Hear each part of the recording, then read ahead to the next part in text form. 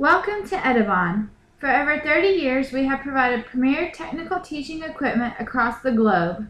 Our product range covers most technical areas, which include engineering, physics, electronics, communication, and renewable energy. Every EDIBON product is designed, manufactured, and quality controlled at our headquarters in Madrid, Spain under several quality standards. In this video, I will provide you with detailed instructions on the installation and assembly of the CFG unit. The version of this unit that we are installing is the 10 meter flow channel. This video is for the installation. If you would like to learn more about the unit and view a demonstration, you should watch the video titled CFG Flow Channels Unit. Before assembly, you need to have these two resources available, electrical supply and water supply and drainage.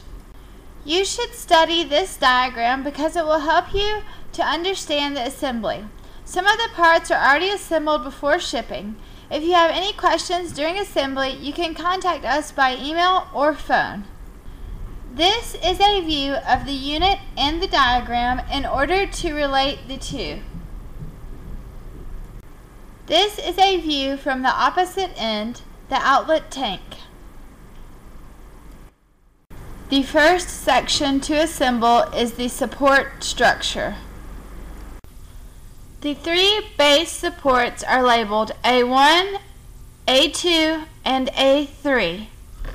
First, the center base, which includes a motor, should be placed in the middle of the room. Then attach the support structure with the rod and the bolts as shown. There is a beam inserted inside these two square tubes of the upper section to increase the strength. Connect as shown. Next, mount the top of the channel support to the middle section using the hex bolts provided. There are three of these connections in each of the four areas. Then assemble the sides of the frame to the channel supports on the ends using the shaft, washers, and bolts. Insert the bolts to connect the sections of the shaft. This is the shaft connected to the motor at the bottom of the structure. When this shaft turns, the angle of the channel is changed by the use of the gearbox.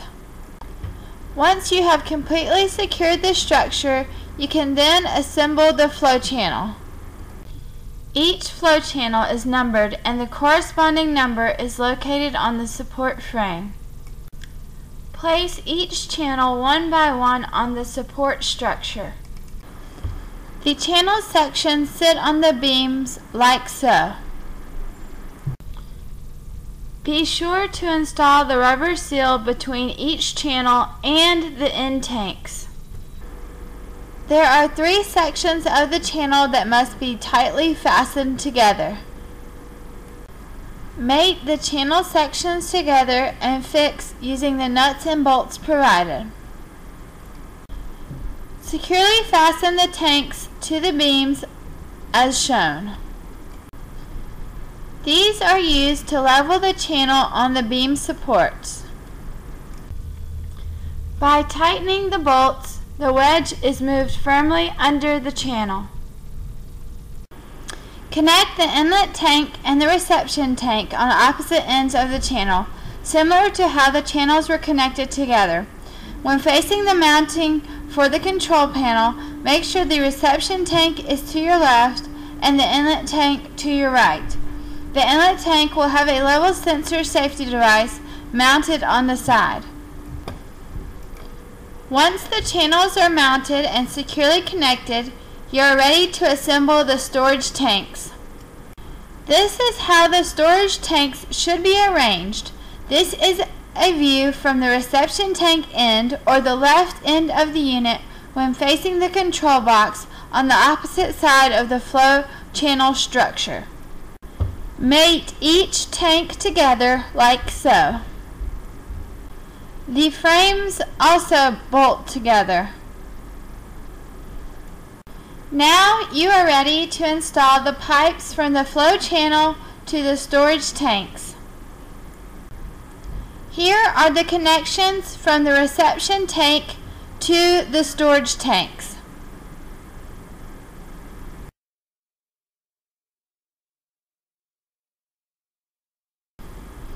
Here is the connection from the pump to the inlet tank which includes a series of pressure sensors.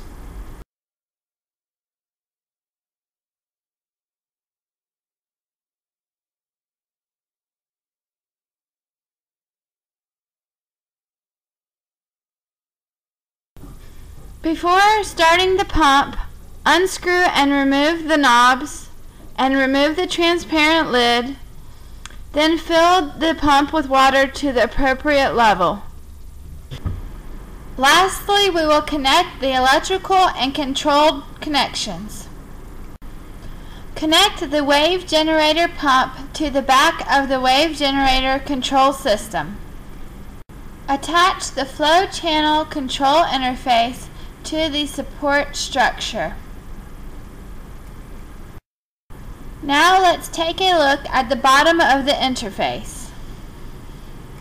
This is where you connect the sensors and controls. Each connection has a different number of pins to avoid any confusion with connections. This is a walk around of the complete unit. Now that you have installed the unit, you are ready for training and operation.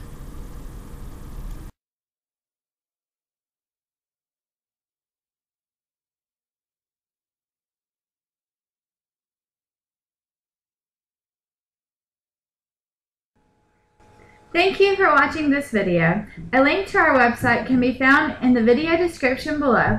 For more information, please contact us by phone or email. We look forward to talking with you.